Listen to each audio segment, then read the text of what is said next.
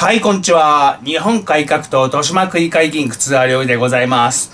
あかり様、やすし様、チャイクロ様、ケイママ様、庄司様、ご支援ありがとうございました。何度もご支援いただき、誠に恐縮であります。ありがとうございます。ありがたく頂戴して政治活動資金させていただきたいと思います。えー、ケイママ様、伝言いただいております。ありがとうございました。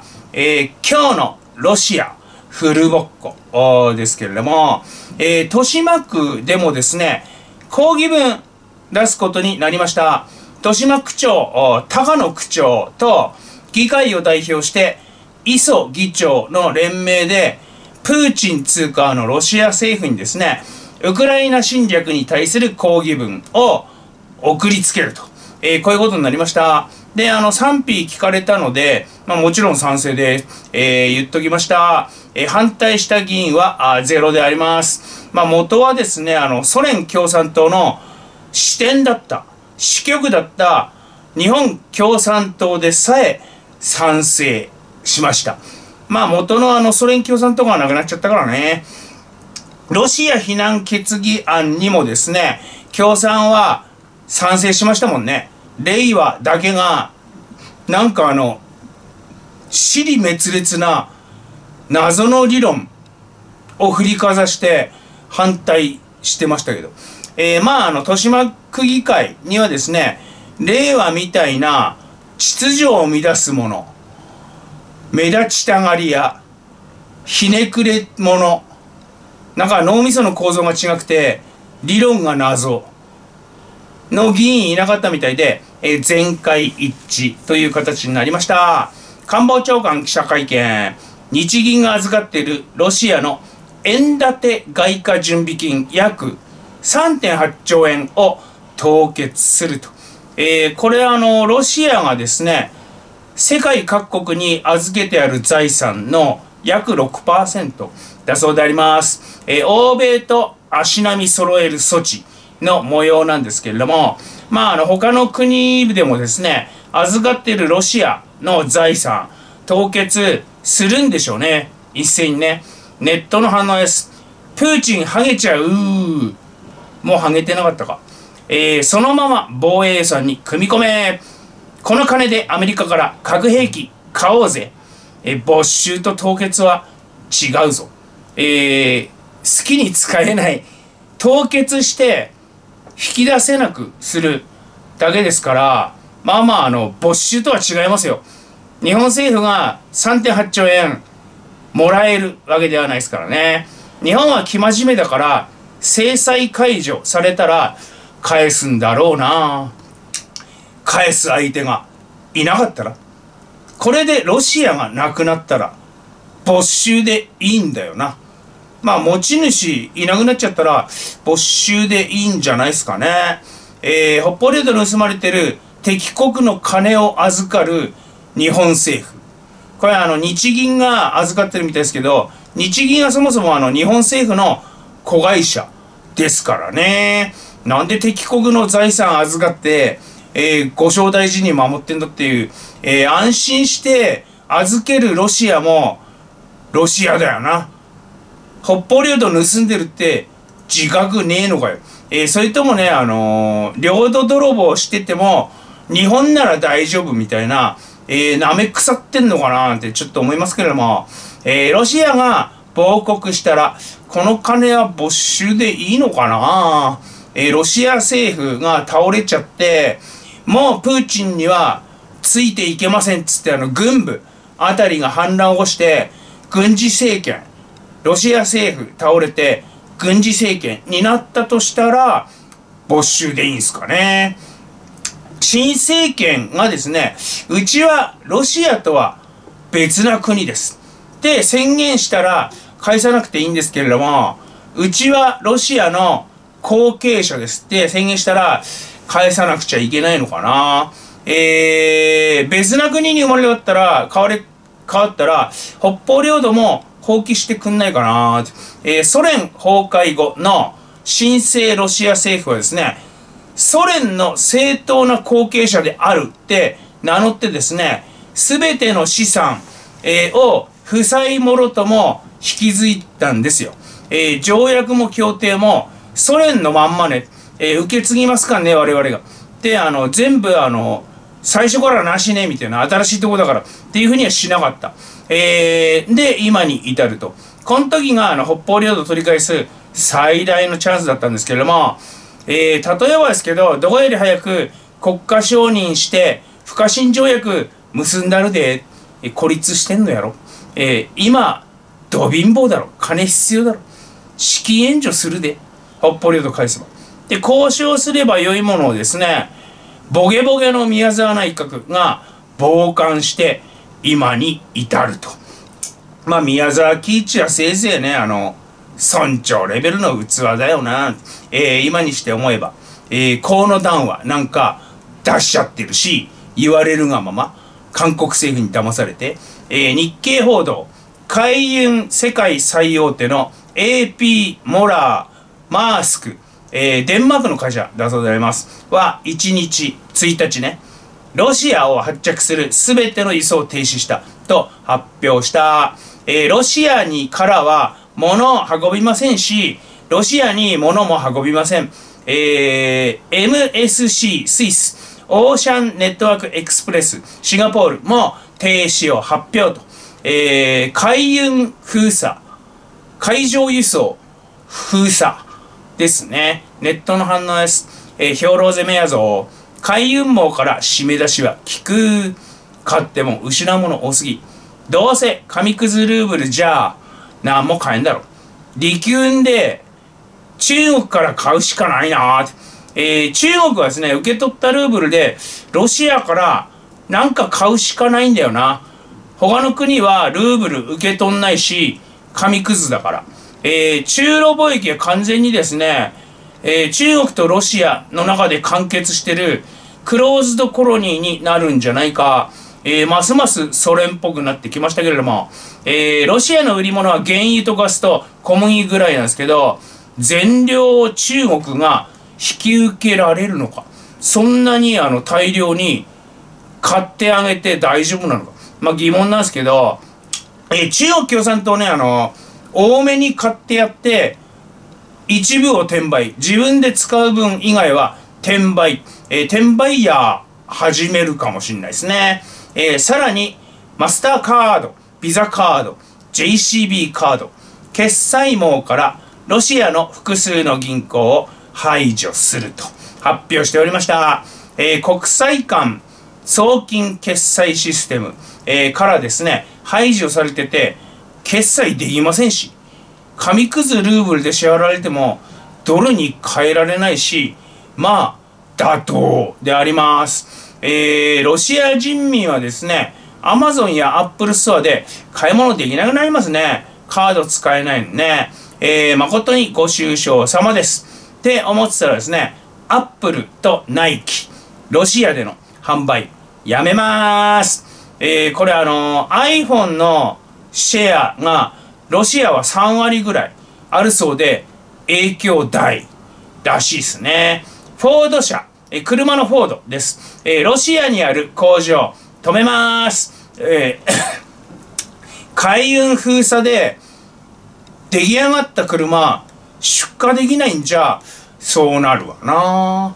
えー、船に積んで他の国に売りに行けない。そうなるわな。えー、今のロシアになら何をしてもいい風潮。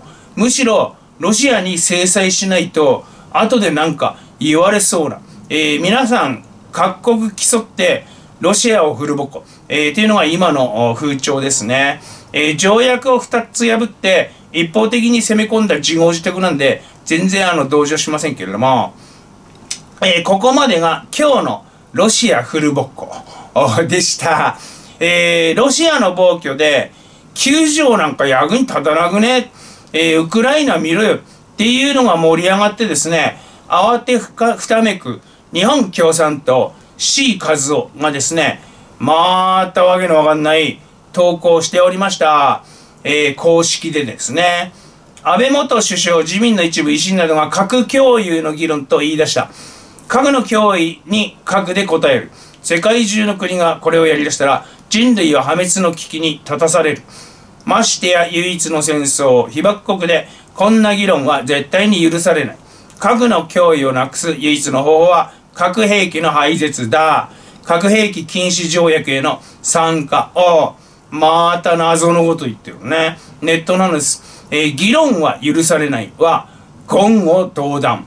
えー、ね、何でもかんでも話し合いでって日頃言ってんのに、なんでこれに関しては議論も許さないってなんだ、えー、持たず持ち込ませず、話し合いさせずですか？比較三原則って。えー、言論弾圧がお好きですな。じゃあどうやって防衛するんだ？言ってみろ。核兵器の廃絶は核保有国に言えよ。誰が誰を許さないって。核武装大賛成っていう多様性も認めろ。本当だよね。自分らのことはあのリベラルリベラルってリベラルって寛容って意味ですかね。えー、いろんな意見があるよね。えー、寛容。それをですね、議論も許さないって非寛容そのものやんけ。えー、もうリベラルって名乗るのやめろっつうの。えー、人類は破滅の節にもう立ってるからあんたが心配しなくても大丈夫と。えー、全くだ。あロシア断るごとにうちは核兵器持ってんだぞ。えー、世界を脅しまくってますからね、今ね。えー、ロシアの核兵器を、あ、ソ連の核兵器をロシアに返したウクライナの末路がこれであります。えー、これとはすなわち、一方的に攻め込まれて、市街地破壊されて、民間人も殺されてる。えー、全世界が核武装すれば平和になって思うぞ。むしろ、核兵器廃絶よりも、どんなちっちゃい国にも核兵器あるって状態の方が、世界は戦争しないと思うぞ。えー、核兵器廃絶よりもですね、そっちの方が実現しそうじゃないですか。まあ今持ってる国は嫌がるだろうけどね、えー、アドバンテージなくなっちゃうからね。えー、今持ってる国はウクライナの失敗を見て、えー、核兵器を放棄したらこんな風になっちゃうんだな。っていう実例を見て、絶対核兵放棄なんかしないですよ。これでしたら、ただのバカじゃん。えー、唯一の被爆国だから核武装議論が許されないっていう論理がわからん。私には。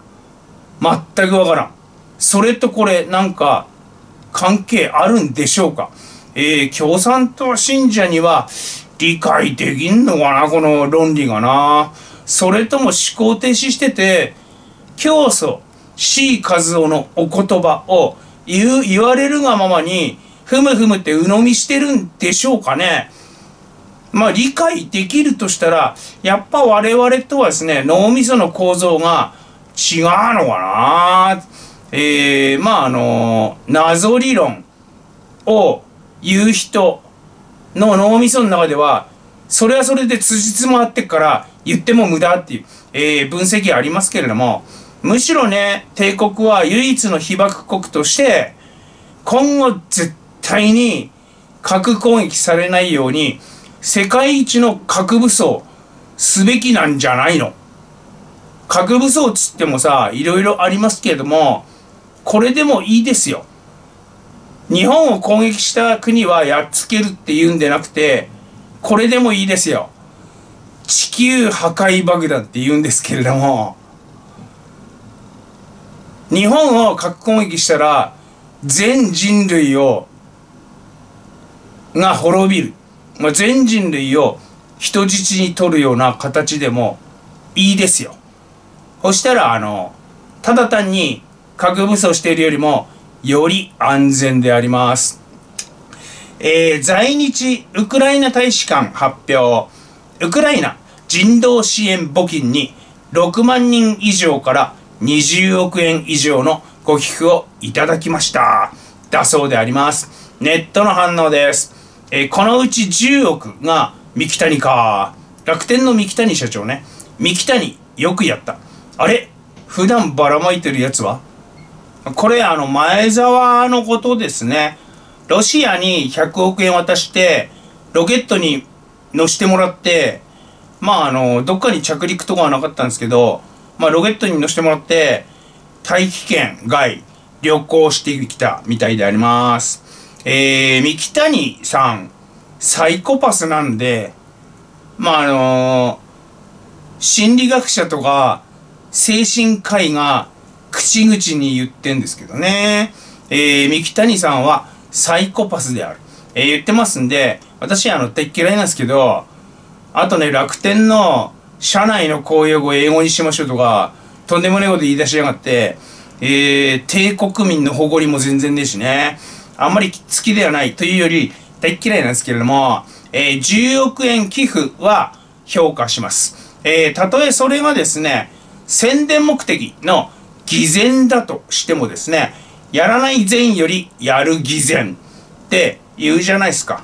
あの、口ばっかで、あの、何もしねえより、偽善でもやった方がええだわ、えー、いうことでね、無邪気に宇宙旅行100億円で買った前園とばっちりですね。普段なんかあの、金気前よくばらまいてっけど、えー、三木谷、ウクライナに10億円、前園、ロシアに100億円、まあ、比べられて、今、ボコボコになっております。えー、前園は、ロシアが北方領土を盗んでる敵国であるってことを知らないのかなえー、平和ボケなんですかね。えー、三木谷以外の6万人がですね、10億円以上出してるってことは、まあ、1人当たり1万7000ぐらいの計算になるんですけれども、えー、皆様ありがとうございます。出してる人は1人で100万円とか1000万円とか出してるかもしれないですね。さらに、在日ウクライナ大使館発表、えー、防衛義勇兵に約70人の応募がありました。これ日本人ね。日本人が約70名応募してくれた。全員男性で、うち50名は元自衛隊員だそうであります。えー、2名が元フランス外国人部隊所属と。えー、まあ、プロですなちゃんとした兵士ですなネットの反応です。侍来たすげえ新選組みたい。勇気あるな尊敬する。選別に武器持たせてあげて、ご分をお祈り申し上げます。えー、バカ左翼は酒組み交わして話まとめてこいよ。えー、70人も志願したんか。すごいな戦闘民族日本人。侍の面目役所ですね。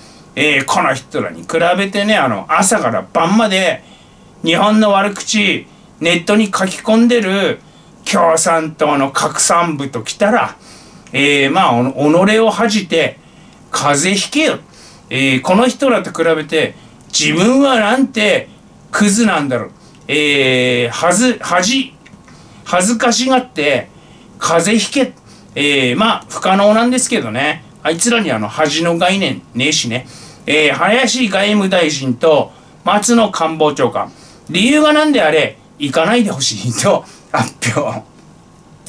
これあの、日本政府がウクライナから退避勧告出してるんで、まあ法人保護の観点からこういうしかないでしょうね。えー、まああの実際は行かないでくれって言うだけで、えー、強制はできないらしいんですけれども、まあ、捕虜になって、えー、人質になったら、まあ、いろいろとめんどくせえし、志願された方たち、ウクライナにたどり着けるんでしょうか日本から直接行くって難しいかもしれないな。政府が及び腰だとな。だからあの、どっか経由して、えー、ポーランドにまず行って、陸伝いに入るとか、そうしないといがんないかもしんないですね。えー、よかったらチャンネル登録よろしくお願いいたします。デトックスジャパン。